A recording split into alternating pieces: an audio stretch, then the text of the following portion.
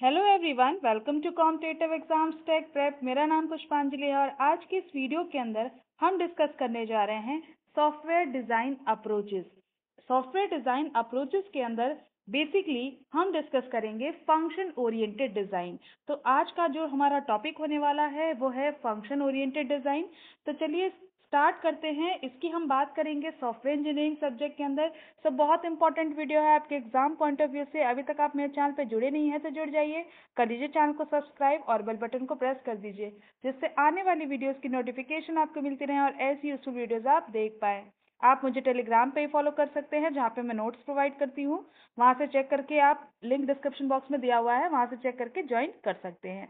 चलिए स्टार्ट करते हैं हम अपने टॉपिक को, जो है सॉफ्टवेयर डिज़ाइन अप्रोच तो सॉफ्टवेयर डिज़ाइन अप्रोच जो है, इसमें हम सॉफ्टवेयर की जो डिज़ाइन अप्रोचेज हैं, उनके बारे में हम बात करते हैं। तो जो भी हमारे सॉफ्टवेयर की डिज़ाइन अप्रोचेस हैं, उसमें हम बेसिकली दो यहाँ पे पढ़ने वाले हैं आपके सिलेबस के according function oriented design and object oriented design जिसमें पर्टिकुलरली इस वीडियो के अंदर हम डिस्कस करेंगे फ़ंक्शन ओरिएंटेड डिज़ाइन को। ठीक है? तो चलिए डिस्कस करते हैं। फ़ंक्शन ओरिएंटेड डिज़ाइन का क्या मतलब है? फ़ंक्शन ओरिएंटेड डिज़ाइन एक मेथड है, जो कि सॉफ्टवेयर को डिज़ाइन करने के लिए यूज़ किया जाता है। ठीक है? तो फ़ंक्शन ओरिएंटेड डिज़ाइन आपको नाम से लग रहा होगा कि फ़ंक्शन ओरिएंटेड है। यानी यहाँ पे हम फ़ंक्शंस की बात करने वाले हैं। यानी सॉफ्टवेयर की डिज़ाइनिंग पार्ट में, जहाँ पे हम सॉफ्टवेयर की डिज़ाइनिंग कर रहे हैं, उसमें हम जो अप्रोच लगा रहे हैं, उसमें हम फ़ंक्शंस का यूज़ करेंगे बेसिकली तो फ़ंक्शन ओरिएंटेड डिज़ाइन एक ऐसा मेथड है सॉफ्टवेयर डिज़ाइनिंग का, जहाँ पे हम मॉडल्स को डिकम्पोज करेंगे सेट ऑफ़ इंटरैक्टिव मॉड्यूल्स में, ठीक है? यानी जो हमारा फ़ंक्शन सॉफ्टवेयर का मॉडल होगा, ठीक है? सॉफ्टवेयर के मॉडल को हम डिकम्पोज कर देंगे छोटे छोटे मॉड्यूल्स में और हर एक जो मॉड्यूल होगा, वो उसमें आपका क्लियरली फ़ंक्शन को डिफाइन किया जाएगा। यानी आप मान लीजिए कि ये आपका पूरा सॉफ्टवेयर डिज़ाइन का डिज़ाइन मान लीजिए है या सॉफ्टवेयर का मॉडल है। इसको हमने छोटे छोटे क्या क्या दिया? हमने छोटे छोटे मॉड्यूल्स में डिफाइन कर दिया सॉरी डीकम्पोज कर दिया और इन मॉड्यूल्स के अंदर हमने फ़ंक्शंस को बना दिया। यानी हर एक मॉड्यूल्स के अंदर अपना फ़ंक्शन डिफाइन किया गया है, ठीक है? तो फ़ंक्शन ओरिएंटेड डिज़ाइन के लिए जो डिज़ाइन है, उसको हम ग्राफिकली या फिर मैथमेटिकली रिप्रेजेंट करेंगे। ठीक है? इतनी बात क्लियर है आपको? तो चलिए आगे बढ़ते हैं।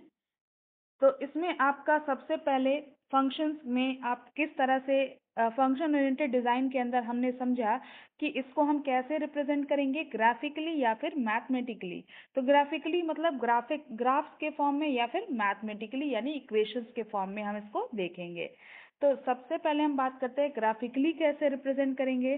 तो इसके लिए सबसे पहले यूज़ किया जाता है डीएफडी का। डीएफडी का फुल फॉर्म क्या होता है? डेटा फ्लो डिज़ाइन ठीक है? डेटा फ्लो डिज़ाइन जो है वो कंसर्न होता है with designing of a series of functional transformation ठीक है? यानी ये क्या करेगा?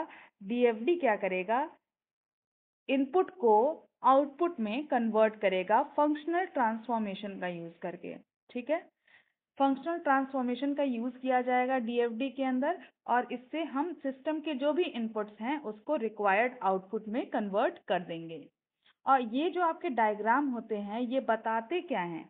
जो डीएफडी होता है, वो बेसिकली डायग्राम के फॉर्म में होता है, ठीक है? अभी हम डिस्कस करेंगे कौन कौन से डायग्राम होते हैं, इसमें यूज़ किए जाते हैं।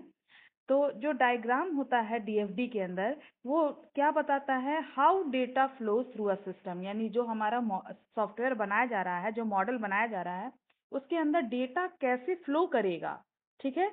आउटपुट कैसे आएगा ठीक है? इन मान लीजिए कुछ इनपुट आपने सॉफ्टवेयर के अंदर दिया और उसके कोरिस्पॉन्डिंग जो आउटपुट आएगा, उसको बताएगा कि आपका डेटा मान लीजिए ये मॉडल है, इसके अंदर आपने क्या इनपुट दिया और उस इनपुट के थ्रू आपका आउटपुट क्या आया, इसके फ्लो को, इसमें जो डेटा फ्लो होगा इनपुट से आउटपुट तक, उसके फ्लो को बताएगा ये डायग्राम जो आपका डीएफडी होगा।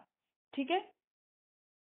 तो इसमें आपका सीरीज़ ऑफ़ फंक्शनल ट्रांसफॉर्मेशन का यूज़ किया जाएगा जिसके थ्रू आप क्या करेंगे? डेटा को इनपुट करेंगे फंक्शनल ट्रांसफॉर्मेशन होगा उसका और फिर आउटपुट आएगा। इसमें कौन कौन से आपका यूज़ किया जाता है? कौन कौन सा डायग्राम यानी ये आपका डीएफडी जो है वो आपका डायग्राम के फॉर्म में होता है। यहाँ पे आप क्या करते हैं? बेसिकली आप दे, देख सकते हैं आपने फ्लो चार्ट पढ़ा होगा। उसमें हम सिंबल्स का यूज़ करते हैं। इसी तरह डीएफडी के अंदर भी हम सिंबल्स का यूज़ करते हैं, जिससे हम डेटा के फ्लो को दिखाते हैं। ठीक है? तो सबसे पहले हम यूज़ करेंगे random parallelogram sorry rounded parallelogram तो जो आपका राउंडेड पैरेललोग्राम होगा, इस तरह से, ठीक है? राउंडेड पैरेललोग्राम होगा। वो आपका क्या बताएगा? कि आपका function that rework output to input to output ठीक है? राउंडेड पैरेललोग्राम क्या करेगा? उस फ़ंक्शन को रिप्रेजेंट करेगा जो हमारे इनपुट को आउटपुट में कन्वर्ट करेगा। ठीक है? फिर आता है बात है रेक्टेंगल की। तो रेक्टेंगल क्या करेगा? इंफॉर्मेशन को रिप्रेजेंट करेगा। सर्कल यूज़ किया जाता है। सर्कल क्या करेगा? तो सर्कल यूज़ करे, किया जाएगा। To represent user interaction with the system यानी सिस्टम से कैसे यूज़र इंटरेक्ट कर रहा है, इसको दिखाने के लिए हम सर्कल का यूज़ करेंगे।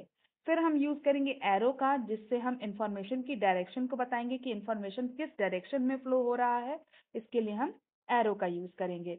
फिर हम दो कीवर्ड्स का भी यूज़ करते हैं एंड एंड और एंड एंड और जो यूज़ किया जाता है, ये आपका कीवर्ड्स जो है वो मैथमेटिशियन यूज़ करते हैं बेसिकली ठीक है? तो द कीवर्ड एंड एंड और have their usual that means in mathematician ठीक है? तो एंड एंड और भी यूज़ किया जाता है। तो डीएफडी के अंदर बेसिकली जो यूज़ किया जाता है, वो राउंडेड पैरेललोग्राम ठीक है? आप बना लीजिएगा राउंडेड पैरेललोग्राम होगा, फिर आपका रेक्टेंगल यूज़ किया जाएगा और ये आपका सर्कल यूज़ किया जाएगा और आपका एक एरो बताया जाएगा कि इन्फॉर्मेशन कहाँ से कहाँ तक सेंड हो रही है इनपुट से आउटपुट तक, ठीक है? तो ये आपका यूज़ किया जाएगा डीएफडी के अंदर। तो फ़ंक्शन ओरिएंटेड डिज़ाइन के अंदर सबसे पहले तो डीएफडी यूज़ किया जाएगा। दूसरी चीज़ यूज़ की जाएगी डेटा डिक्शनरी डेटा डिक्शनरी क्या होता है? डेटा डिक्शनरी जो है वो सिंपली रिप्रोजिटरी होते हैं। जैसे आपका डेटा को स्टोर किया, करना है आपको बेसिकली ठीक है? तो जो भी इनपुट कर रहे हैं आप सॉफ्टवेयर के अंदर, उसमें इंफॉर्मेशन जो भी आप इनपुट कर रहे हैं, उसको स्टोर करना होगा कहीं ना कहीं आपको। तो डेटा डिक्शनरी जो है, वो आपका एक एज अ रिपोजिटरी काम करता है। इसमें हम इंफॉर्मेशन को स्टोर करते हैं। जितना भी आपका डेटा आइटम से रिलेटेड आपका जो भी चीज़ें हैं, ठीक है डीएफडी के अंदर जो भी आपने डिफाइन किया गया है, किया है डीएफटी में हम क्या बता रहे हैं डेटा किस तरह से फ्लो कर रहा है सिस्टम के अंदर। और जो भी डीएफटी के अंदर आपने डिफाइन किया है जितने भी डेटा आइटम को, उसको स्टोर करने के लिए हम डेटा डिक्शनरी का यूज़ करेंगे। ठीक है?